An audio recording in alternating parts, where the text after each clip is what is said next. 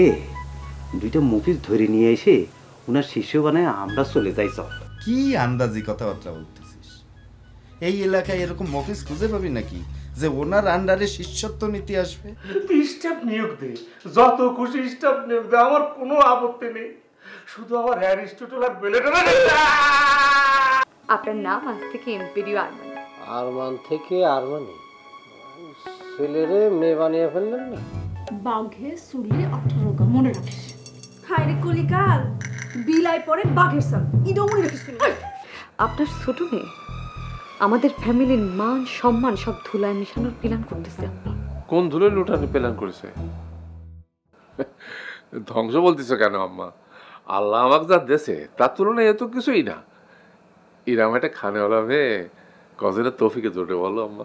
জি আব্বা আপনি এরা উৎসাহ দেন বলে তো আমি নির্ভয়ে খাতি পারি। খাতি পারো সেটা ঠিক আছে কিন্তু এরকম চারিদিকে জানান দিয়ে লোক হাসানোর কি দরকার আছে তোমার? ইডা ছাড়া কোনো উপায় নেই। ইডা এখন মোল্লা হাউজের প্রেস্টিজ ইস্যু আচ্ছা আচ্ছা ঠিক আছে ঠিক আছে। এখন তোমরা আমার খুলে কাউ দিনই কি হয়েছে? কও। আব্বা! এটা মেল স্প্রে আপনি ফিমেলদের গায়ে এটা সিটাবেন না প্লিজ আচ্ছা আমি সরি আছি। আচ্ছা ঠিক আছে, তোমরা এখানে বসে পাও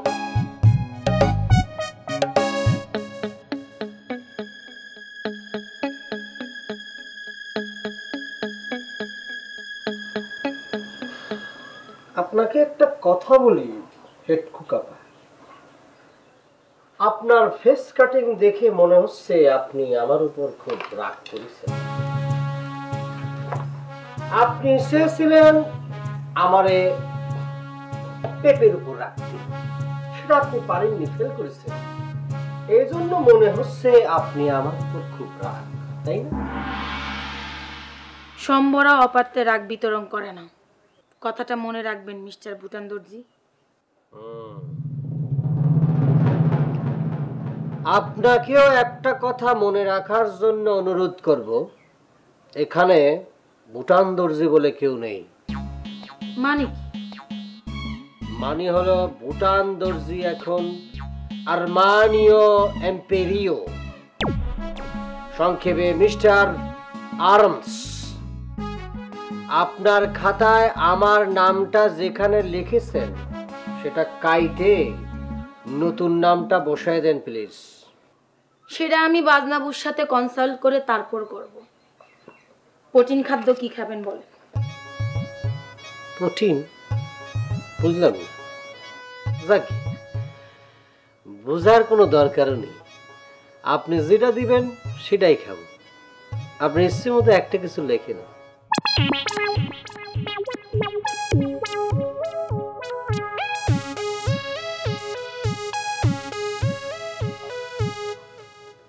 যদি কিছু মনে না করেন, আপনারা একটা প্রাইভেট কোশ্চেন জিজ্ঞেস করতাম।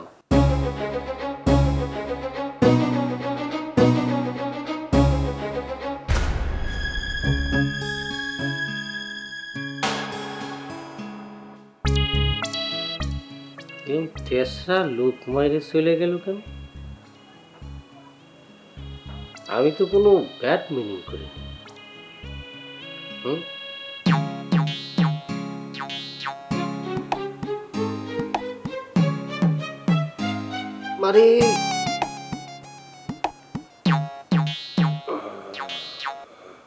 এখন আপনি কন আব্বা মোল্লা হাউজের এই অপমানকে আমি মেনে নিতে পারি? না কিছুতেই না। আব্বা আপনি কিন্তু স্বামীর খপ্পরে পড়তেছেন আব্বা। খপ্পরে বলতিস কেন? এই ভেটখালি রমজানের চ্যালেঞ্জ গ্রহণ করার পর তোমার যে বকাবকি খেয়েছে সেই জন্য তো ওটা ক্যান্সেল করেছিল। এখন রমজান যে চিঠি দিয়েছে সেটা তো আর মেনে নেওয়া যায় না। জানেন আব্বা শেষের লাইনে কি লিখেছে? সে লিখেছে আপনি যে লেস তুলে পালাবেন সেটা আমি ভাবতেই পারিনি। Ladies always ladies. চিন্তা করেছেন আব্বা সে আমাকে লেডিস বলে হেও করেছে? না না বাজনা। তুই ওরে বাধা দিসনি। এই অপমানের প্রতিশোধ না নিলে বরঞ্চ মোল্লা হাউসের মান সম্মান ডুববে। আব্বা আপনার ছোট মেয়ে একজন পেটুক। সেটা সারা দুনিয়ার লোক জানবে। তারপর তো আপনি বাড়ি থেকে বের হতে পারবেন না। সবাই আপনাকে পে মে পি বলে খেপাবে পে মে বি সেটা আবার কি? পে মে পি মানে হলো পেটুক মেয়ের পিতা। আপনাকে সবাই পেটুক মেয়ের পিতা বলে খেপাবে আব্বা। তারপরেও তবু আমার ছোট মেয়ের আমি ছোট হতে দেবো না। আমার ছোট মেয়েরে সে লেডিস বলে হেউ করেছে। সানাই তুই প্রস্তুতি নেয় খাদক কম্পিটিশন হবে। থ্যাংক ইউ আব্বা। আপনি আমার জন্য দোয়া রাখবেন। আর শোন আব্বা পারমিশন দিয়েছে। এখন তোমার আমার বিরুদ্ধে বিরোধিতা করার কোনো অধিকার নাই। কথাটা যদি মনে থাকে। কি আর করব? আব্বা তার ছোট মেয়ের প্রতি অত্যাধিক স্নেহশীল একদিন হয়তো তিনি সেই প্রতিদান পাবেন। আসি আব্বা। হুম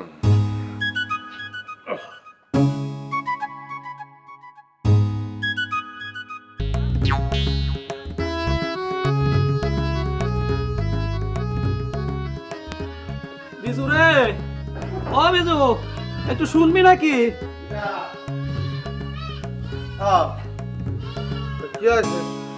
আর বলিসনি আজ তিন দিন ধরে এই ছাগলটা দাঁড়াচ্ছে।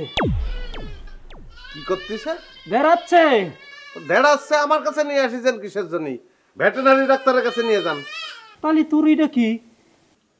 এটা কি মানে? ফকির যে বলল তুই হসপিটাল খুলছিস? তারে নাকি তুই বলছিস মানুষের চিকিৎসা ছাড়া আর সব কিছু চিকিৎসা হবে এইখানে? আরে আমি তো আর আমার চিকিৎসার কথা বলিনি। বলছি আমার এই ছাগলের চিকিৎসা দে। আচ্ছা ঠিক আছে আমি যদি সে কথা বলে থাকি আমি মহা ভুল করেছি। অলরেডি আপনার মতো আরও চারজন আসিছে। কেউ গরু নিয়ে আসিছে, কেউ হাঁস নিয়ে, কেউ মুরগি নিয়ে, ভাগ্যিস কেউ বাঘ নিয়ে আসেনি। এনে যন্ত্রপাতি ছাড়া অন্য কোনো কিছুর চিকিৎসা হয় না। দয়া করে এই কথাটা সবাই একটু বলে দেবেন। আরে যন্ত্রপাতির চিকিৎসা দিবি তো। এই হসপিটাল নাম দিছিস কেন? হ্যাঁ? আর নামের পাশে তোর কবিরাজ লাগাছিস কি করতে? যত সব ফাউল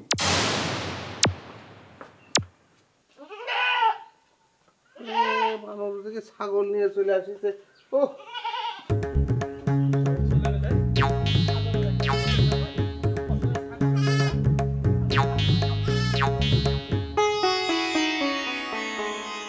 আজ এই নাতিশীতোষ্ঠ রৌদ্রকর উজ্জ্বল দুপুরে তোমাকে একটা কথা না বলে আমি পাচ্ছি নে। আমার পেলেটো আমার অ্যারিস্টল তোমরা যে মনোযোগী দুই শিষ্য হয়তো বা পৃথিবীর কোন চিন্তাবিদদের ভাগ্যে তোমাদের মতো এরকম যে মনোযোগী শিষ্য জোটেনি। জাতির জ্ঞান ও দর্শন চর্চায় তোমাদের নাম সম্মান করে লেখা থাকবে। আমি ও জাতি উভয়ই তোমাদের কাছে চির কৃতজ্ঞ এবং ঋণী।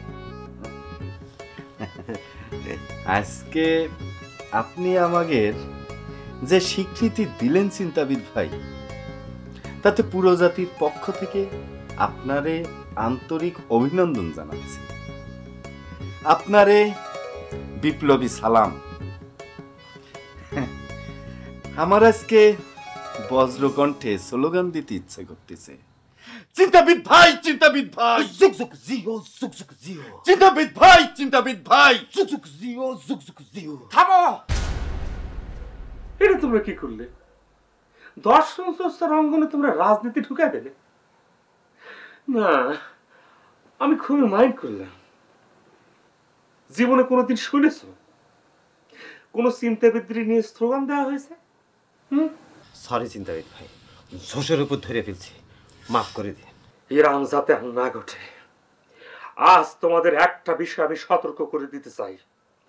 আগামীকাল আমি তোমাদের খদ্দের বস্ত্র পরিধানের মাধ্যমে শিষ্যত্বের দীক্ষা দেব। আর যে বিষয়ে তোমাকে আমি সতর্ক করে দিতে চাই, সেটা হচ্ছে প্রেম।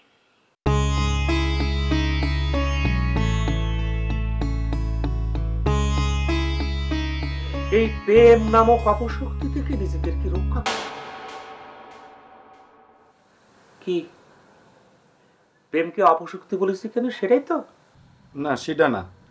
আপনার বন্ধু বিজু স্যার প্রতিষ্ঠানে আমরা চাকরির জন্য লাইনে দাঁড়াতে পারব কি পারব না সেই বিষয়ে একটা ডিসিশন জানানোর কথা ছিল। ভাবের কেজি দশা না। ভাবের কোনো মূল্য নাই রে মোনা। আমি মানব জাতির বিরুদ্ধে অপতৎপরতায় লিপ্ত।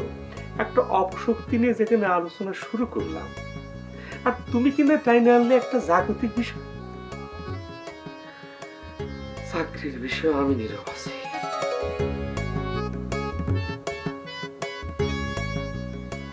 নীরবতাই সম্মতির লক্ষ্য। তোমরা চাকরির জন্য লাইনে দাঁড়াবো চাকরি হলে করো না হলে করব না। এই যে বললেন না হলে করবা না এইটা নিয়েই আমাদের কিছু কথা আছে।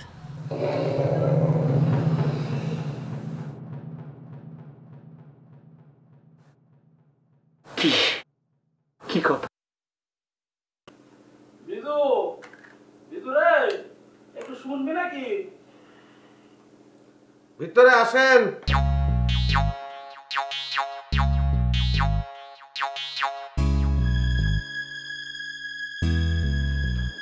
কি হয়েছে? আবার কি কাজ আসছে?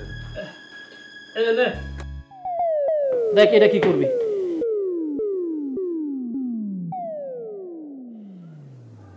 এটা আর কি করব মানে? আর মেলা দিন ধরে ঘরের মধ্যে নষ্ট হয়ে পড়া রইছে। ইঁদুরেরও উৎপাত বাড়ছে।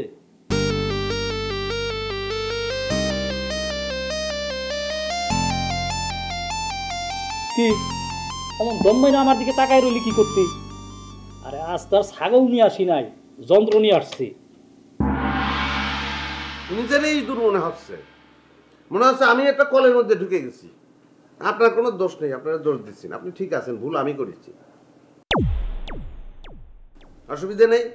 বাজারের তে আমি নিজে হাতে ইঁদুর মারা বিষ কিনে আপনারা দিয়ে আসব। ওই বিষ খাওয়ায় ইঁদুর সব মারি ফেলেন। এখন যান। কেন? এটা সারে দিতে তোর অসুবিধা কি? আর এটা একটা কল ইঁদুর মারার কল। আর এই কলই যদি সাইরা দিতে না পারবি তবে ইঞ্জিনিয়ার নাম দিচ্ছিস কিসের জন্য? তো চাচা এই আরে বাবা এই কলটা তো এই জিনিস তো এখানে ঠিক হবে না। সেই জন্যই আমি এই দোকান খুলিনি। আমার এখানে শুধুমাত্র ব্যাটারি আর বিদ্যুৎ চালিত যন্ত্রপাতি চিকিৎসা হয়। এটা চিকিৎসা হবে না। জান পরিষ্কার হয়েছে না? আমি পরিষ্কার হইলে লাভ কি ক? আব্বাজানের হাতের কিনা এই কলটা যদি তুই মেরামত করে দিতে পারতি, তাহলে বুঝতাম তুই ইঞ্জিনিয়ার হয়েছিস গেলাম।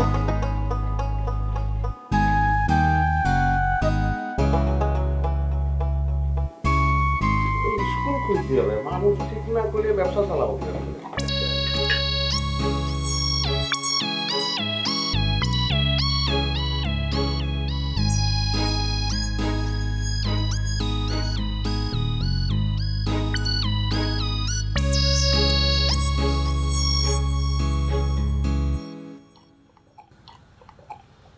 এখন আমি আশা করব আপনি আপনার বন্ধুর সাথে আলাপ আলোচনা করে একটা সমাধান বের করবেন।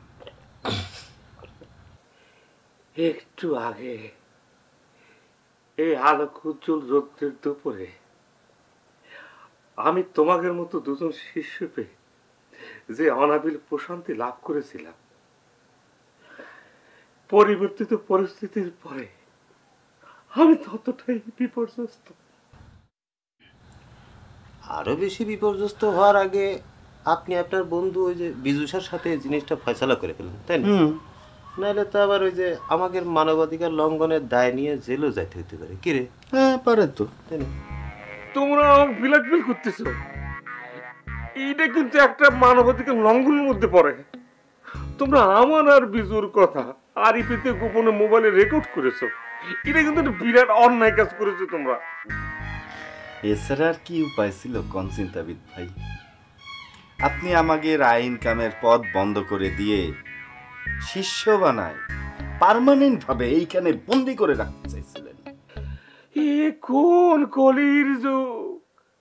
দর্শন শাস্ত্রকে এরা বন্দিত্বের সঙ্গে তুলনা করতেছে। যুগে যুগে চিন্তাবিদরা সমাজ রাষ্ট্র, মানুষ, সবার ষড়যন্ত্রের শিকার হয়েছে। সক্রেটিস বাঁচেনি। গ্যালিলো গৃহবন্দী ছিল। আজ আমি তোমাদের কাছে ষড়যন্ত্রের শিকার হয়েছি। দাও, মোবাইল খান দা বিজুর সাথে একটু কথা বলে আসি।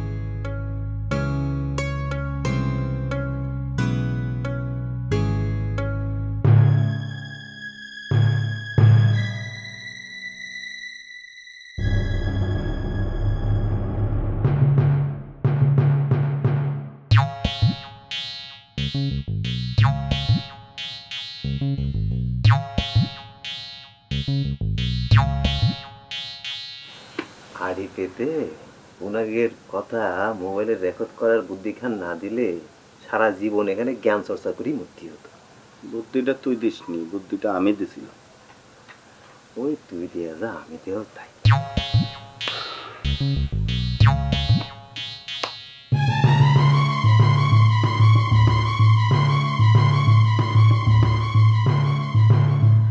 তোমার দেহে তো মনে হচ্ছে তোমার মনের চেসিস পেসিস ভাঙিয়ে চুরমার। শুধু ভাঙা চুরানা বিজু মনে হচ্ছে শরীর আমার পাট পাট হয়ে যাবে। বেশি খারাপ লাগলি পরে রেডিয়েটরে পানি ঢালো। কি আছে বলো? আমার দুটি শিষ্য যারা তোমার এখানে নিয়োগ পেতে ইচ্ছুক। আরে বাবা তাদের তো আমি বলে দিচ্ছি আমি তো বলে দিচ্ছি যে তোমাদের আমি চাকরি দিতে পারব না। আবার অসুস্থ কিসের জন্য? সেই জন্য তোমার অনেক অনেক ধন্যবাদ। এখন আমি তোমাকে রিকোয়েস্ট করছি তুমি ওকে নিয়োগ দিবা। তোক ধরে তোক ধরে একদম ওভারঅলিং করা দরকার। একবার নিয়োগ দিবা একবার নিয়োগ দিবা না গ্রামে আসে তো আমি ভালো যন্ত্রণায় পড়লাম তাই না? করি আল্লাহ তা না হলে পরে তুমি আমি আমরা দুজনে মানব অধিকার কিছু পড়ে যাবা না গুড়া রান্না হবে কি হয়েছে? প্লিজ কভার দ্য কনভারসেশন তোমার মতো মাম দুপুরতে কোলে নিয়ে কি মরবো নাই তোর মতো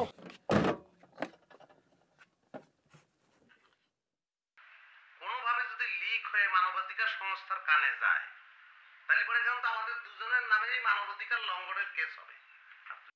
গতকাল বিকেলে তোমার জানলে আরিফিতে ওরা এই কনভারসেশন রেকর্ড করেছে। গুড অ্যান্ড কট কিছু করার নেই বন্ধু। এখন তারা ইন্টারভিউতে ফেল করলিও তাদের নিয়োগ দিতেই হবে। নাহলে হিউম্যান রাইট ভায়োলেশনের মধ্যে পড়ে যাব তো। কিচ্ছু করার নেই।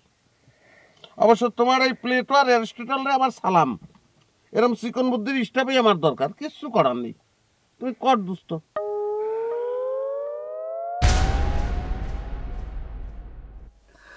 আমি শেষ হয়ে গেলাম বন্ধু। আমি শেষ হয়ে গেলাম। এই সত্য বিকেলে আমি একদম নিঃস্ব হয়ে গেলাম বন্ধু। আমাকে বিষয়ে তুলেছে। আমি নিঃস্ব হয়ে গেলাম বন্ধু। একই একই তো দিলকুলা পরিবহন এক সময় মনে হয় আমি ডাবলিজ করে দেই। যেরাম করে পারিস বের হয়ে যা।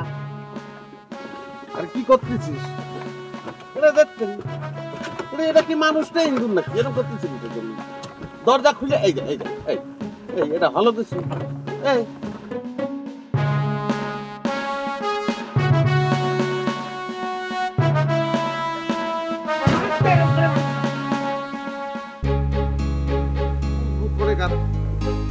তোমার ব্যথা পাইছে নাকি?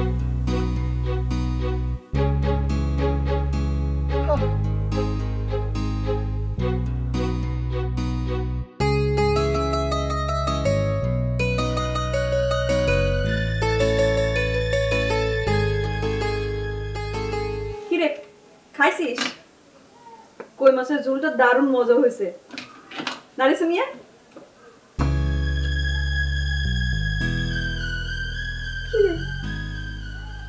তুই ওরকম ইনক্রেডিবল হাকের মতো তাকিয়ে আছিস কিসের জন্য? কি হয়েছে? এত সাজগুজের কারণটা জানতে পারি? কে কে তোর মুখ দেখতে আসার কথা? মুখ দেখতে আসবি কিসের জন্য? মুখ দেখাতে যাব। মুখ দেখাতে যাব মানে? বুঝলাম না। ওমা আমার যে বিজু ভাই প্রতিষ্ঠানে চাকরি সাক্ষাৎকার দিতে যাবার কথা সেটা মনে হয় তুই জানিস না?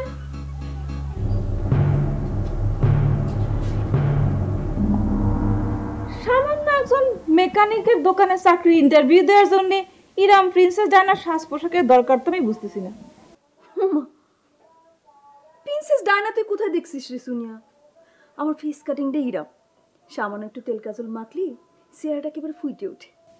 সামান্য দোকানদারের চাকরির জন্য এই তেল কাজলের অপব্যবহার আমি হতে দেবো না। তোল ঠোঁটের লিপস্টিক চোখের কাজল গালের ব্লাশন সব তুলে সাধারণ মেকআপে তারপর সাক্ষাৎকার দিতে যা।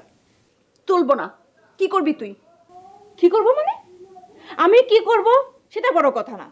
একজন যুবকের সামনে কিরাম কোনো মেকআপে যাওয়া উচিত না যাতে করে তার অন্য কিছু ভাবার অবকাশ থাকে। অন্য কিছু মানে কি রে সোনিয়া? এই, তুই আমাকে কি ভাবছিস? এই ম্যাক্সিক তুই কি ভাবছিস? বেশি কথা না বলে যা করতে বসে সেটা কর।